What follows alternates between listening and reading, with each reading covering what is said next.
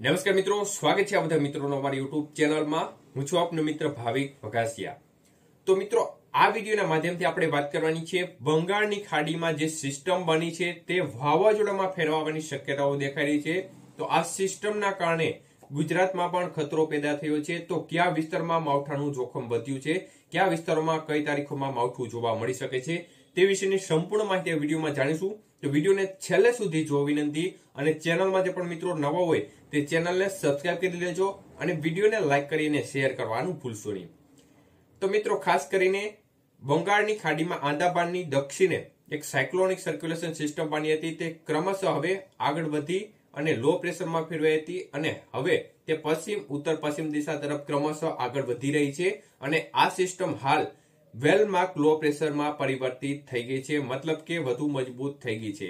અને આ સિસ્ટમ હજી પણ પશ્ચિમ, ઉત્તર, પશ્ચિમ દિશા તરફ આગળ વધતી જ રહેશે અને આજ સાંજથી લઈ અને આવતીકાલ સવાર સુધીમાં આ સિસ્ટમ વધુ મજબૂત બની અને ડિપ્રેશન લેવલમાં મજબૂત થાય તેવી શક્યતાઓ દેખાઈ રહી છે. મતલબ કે સિસ્ટમ ડિપ્રેશન બની જશે અને ત્યારબાદ ડીપ ડિપ્રેશન બનવાની શક્યતાઓ રહેલી છે અને સિસ્ટમ સાત તારીખની સાંજે અથવા તો આઠ તારીખની સવારે આ સિસ્ટમ વાવાઝોડામાં પરિવર્તિત થવાની પૂરેપૂરી શક્યતાઓ દેખાઈ રહી છે અને આ સિસ્ટમ વાવાઝોડું બન્યા બાદ આઠ તારીખે સવારથી લઈ અને આઠ તારીખની સાંજ સુધીમાં જે તમિલનાડુના ભાગો છે, પોંડિચેરીના ભાગો છે, દક્ષિણ આંધ્રપ્રદેશના ભાગો છે, આ વિસ્તારોમાં વાવાઝોડું સ્વરૂપે આઠ તારીખના ટકરાવવાની પૂરેપૂરી શક્યતાઓ અત્યારની સ્થિતિ પ્રમાણે દેખાઈ રહી છે.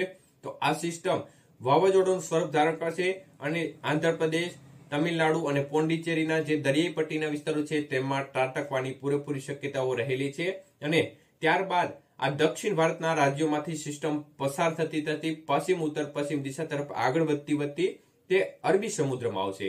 એટલે કે બંગાળની ખાડીવાળી સિસ્ટમ અરબી સમુદ્રની અંદર આવી જશે. તો અરબી સમુદ્રમાં આવ્યા બાદ સિસ્ટમ નબળી પડી જશે. એટલે કે લો પ્રેશર અથવા તો સાયક્લોનિક સર્ક્યુલેશન સિસ્ટમ તરીકે એ અરબી સમુદ્રમાં પ્રવેશ કરશે. પરંતુ ત્યારબાદ પણ તે પશ્ચિમ ઉત્તર પશ્ચિમ દિશા તરફ આગળ વધતી રહેશે અને આના કારણે ગુજરાતમાં પણ માવઠાનો ખતરો પેદા થયો છે, કારણ કે સિસ્ટમ વધુ મજબૂત બની રહી છે અને આના કારણે મહારાષ્ટ્ર, મહારાષ્ટ્રના ભાગો છે તેમાં મધ્યમથી અમુક વિસ્તારમાં ભારે વરસાદની શક્યતાઓને પણ ચોક્કસપણે નકારી ના શકાય તેવી અત્યારની સ્થિતિ દેખાઈ રહી છે. પરંતુ ગુજરાત માટે ખાસ કરીને બારથી લઈ અને સોળ તારીખ વચ્ચેનો સમયગાળો બારથી સોળ ડિસેમ્બર વચ્ચેના સમયગાળા દરમિયાન સૌરાષ્ટ્ર સહિત દક્ષિણ ગુજરાત અને મધ્ય પૂર્વ ગુજરાતના ભાગોમાં માવઠાની પૂરેપૂરી શક્યતાઓ અત્યારની સ્થિતિ પ્રમાણે દેખાય છે. મતલબ કે જોખમ પહેલા હતું, એના કરતા થોડું વધ્યું છે. એમાં પણ ખાસ કરીને દક્ષિણ પૂર્વ સૌરાષ્ટ્રના વિસ્તારો છે, દક્ષિણ ગુજરાતના વિસ્તારો છે, તેમજ મધ્ય પૂર્વ ગુજરાતના વિસ્તારો છે, આમાં માવઠાનું જોખમ વધ્યું છે અને ઝાપટાથી માંડી હળવો વરસાદની શક્યતાઓ રહેલી છે. અમુક એકલ દોકલ સીમિત વિસ્તારો હોય, જ્યાં મધ્યમ વરસાદ પણ પડી જાય. આજે દક્ષિણ પૂર્વ સૌરાષ્ટ્ર દક્ષિણ ગુજરાત અને મધ્ય પૂર્વ ગુજરાતના ભાગો છે. તેમાં દેખાઈ રહી છે. એટલે ઝાપટાથી માંડી હળવો મધ્યમ વરસાદની શક્યતાઓ આ ભાગોમાં દેખાઈ રહી છે. બારથી સોળ ડિસેમ્બર ડિસેમ્બર વચ્ચે અને બાકીના સૌરાષ્ટ્રના ભાગોમાં વાદળછાયું વાતાવરણ જોવા મળી શકે છે.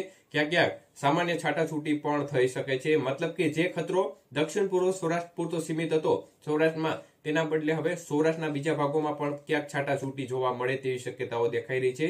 જ્યારે કચ્છમાં હાલ ખાસ મોટો ખતરો દેખાઈ રહ્યો નથી. ઉત્તર ગુજરાત માટે પણ ખાસ કોઈ મોટા ચિંતાના સમાચાર નથી. વાદળછાયું વાતાવરણ જોવા મળી શકે છે. પરંતુ સૌથી વધુ જોખમ દક્ષિણ પૂર્વ સૌરાષ્ટ્ર, દક્ષિણ ગુજરાત અને મધ્ય પૂર્વ ગુજરાતના ભાગોમાં બારથી સોળ ડિસેમ્બર વચ્ચે આ ભાગોમાં સાવચેતી રાખવી અને તમારા ખેતરમાં જે ખુલ્લો પાલો પડ્યો હોય તો તેને યોગ્ય જગ્યાએ પહોંચતો કરવા અથવા તો ઢાંકી દો, જેથી કરીને કોઈ નુકસાન ભોગવવાનો વારો ખેડૂત મિત્રોને ના આવે. તો આ એક અપડેટ હતી અને આ અપડેટમાં જે ખતરો દેખાઈ રહ્યો છે તે પ્રમાણે માહિતી આપી છે. હજી પણ આગામી દિવસોમાં કોઈ ફેરફાર થશે તો તે બાબતની માહિતી પણ આપવામાં આવશે. પરંતુ ખેડૂત મિત્રોએ ચોક્કસપણે સાવચેતી રાખવી માવઠાનું જોખમ દેખાઈ રહ્યું છે અને આ વાવાઝોડું એ ગુજરાત માટે વધુ એક માવઠારૂપી વરસાદની આફત લઈને આવી રહ્યું છે.